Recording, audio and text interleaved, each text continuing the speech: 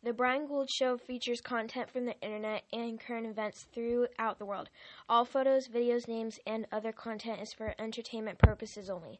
Please don't fall asleep. It's rude.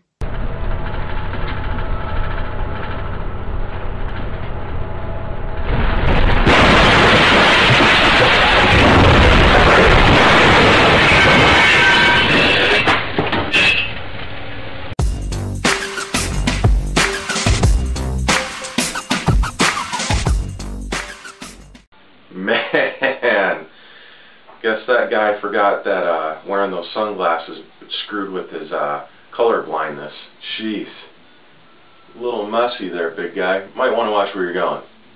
Thank you for watching episode number 10 of The Brian Gould Show. Yay, number 10. Finally made it. Wasn't sure if we were going to get there. Took a little time off because of the holiday. Hope everybody had a great, safe, and happy new year. And thanks for coming back and watching my show. Cool. Anyways, so Dr. Vaughn and Dr. Freed, they're two chiropractors up in Michigan. They bought some McDonald's and Taco Bell a couple years ago. Well, the thing of it is, is they actually left the food out on their reception desk at the front of their office. Not boxed up, nobody ate it, nothing. It's still sitting there. It actually, uh, more or less, like mummified uh, has no stench, no smell, no nothing. And they did this just to show people that uh, what the food actually does to your insides if it doesn't completely go through. It's a little crazy. That taco there, that, uh, eeh, not so good. But those tacos, apparently the food does their body good. Anyways, so this 14-year-old boy in England was on a train, and he happened to be looking down by his feet and saw a photo on the ground. So he bent over, picked it up, and noticed that it was a painting.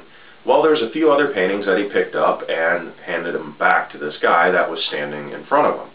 The guy turned around, thanked him, and said, hey, I am the world-renowned Banksy. Now, if you don't know who this guy is, there's something wrong with you. He does paintings all over the place. So the painting that he threw together, he actually personally signed for this kid and gave it to him.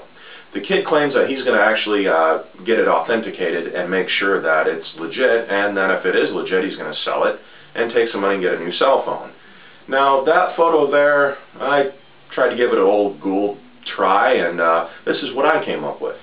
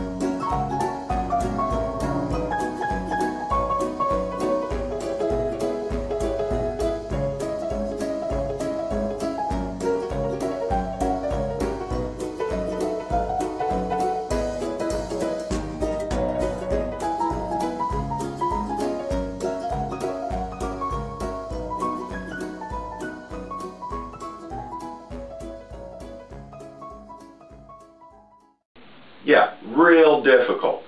Matter of fact, you can purchase that photo on my website right now, uh, briangouldshow.com, right at my store. And uh, you know what? It's going to be worth a lot of money someday. That's what Banksy said to this kid, allegedly. Nobody knows who Banksy is, but you know what? I gave it a shot. Go ahead, get it. It's on sale right now. Pick it up. Veronica Vigil. Who's that? Beautiful yearbook picture from 1970 who knows, who cares, right? Well, Veronica's actually uh, suing a company called the Anne Taintor Incorporation. Uh, Anne Taintor does all these different like photos and uh, like artsy stuff. Uh, she's suing them for defamation of character, invasion of privacy, and unfair trade practices. Well, why? That's why. because they took her photo and put it on a flask, and it reads on the flask, I'm going to be the most popular girl in rehab. Now listen, Veronica, somebody actually gives a damn about you 50 years later. Just let the flask sell. Get some royalties. Don't bitch and complain about it. Otherwise, your old prom date that you shot down is getting redemption on you. Just go for royalties. It's not a big deal. So, for some of you that do like to go fishing, there is this guy here in Tampa area fishing on the Hillsborough River. He's going down the river, he hears a little splash, he looks over, and he sees that. What is that? Zoom in a little closer, bam! None other than the famous skunk ape. What the hell's a skunk ape? It doesn't exist, but this guy claims it does.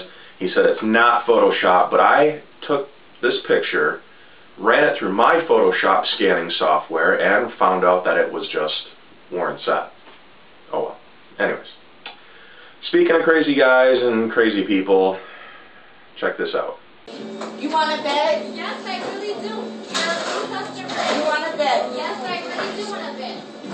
There's a no lot of security witness- other customers, okay? Respect them. They let their fucking face in my business. You shut You're the letting fuck up. everybody know Hi, what's 911. This is the On Trans Mountain. My name is Sharon Falk. I need an officer available. If Officer Zamora is available, I'd appreciate it if you sent him. Do not send Officer Lane or Officer Bayer. I'm being attacked at a Starbucks club. Okay, so don't send Officer Lee, don't send Officer Bear. You know who I am. I'm having problems. You have a lot of issues, lady. apologizing.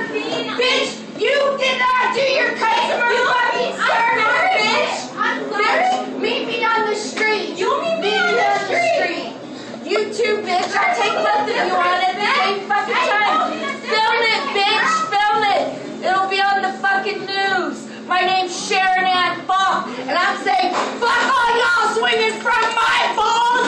I'm the nigga with the cat running through all your goddamn balls. Did you get that, bitch? Okay, so whatever it is that she's about to order, how about decaf? Don't ever, ever, ever, ever, ever, ever, ever, ever mess with people that handle your food. Just a no-no, okay? Seriously. So, this next stunt here is either going to be really cool or really stupid. What do you think?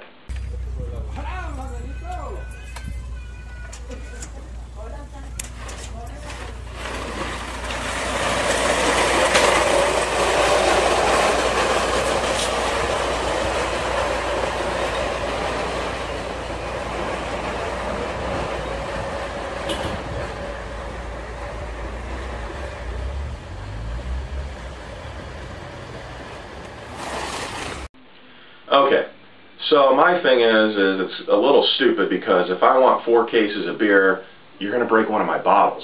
But where do I actually get a third world country beer delivery guy? Bet he works really cheap too. Hmm. So I came across this last story, and it was a little intriguing because of this. Check this out. A 75-year-old man has had a 7-inch turn signal removed from his arm after it became embedded during a horrific car crash, 51 years ago. Former real estate agent Arthur Lampitt from Granite City, Illinois, slammed his Ford Thunderbird head-on into a truck as he was driving to a property viewing in 1963. Arthur, did you not notice that maybe after the accident that gash in your arm might have been caused because there's something missing from your steering column? How do you get through metal detectors? I don't understand that and not realize that, hey, I'm tripping them off. A little crazy, I know, but you know what? At least they found out where it went and they didn't have to have, use David Copperfield to try to retrieve it. So, anyways, Thank you for watching another episode of The Brian Gould Show. Number 10 is done and over with. Kept it short and sweet. Go to my website, thebriangouldShow.com. I just put up my blog, vlog, and it's pretty cool. Day with Brian, life with Brian, however you want to look at it. Also, there's links down in the description underneath. You can like me on Facebook, follow me on Twitter, and I'm on Instagram. Photo of the day, send them in. Right now it's mullet month, so I'm putting up funny pictures of people with awesome mullets. They're great, sweet. So, thank you for tuning in. Make sure you go to my website, The Brian Gould Show. I will see you guys next week for episode 11. Thanks for tuning in, and I will see you guys soon.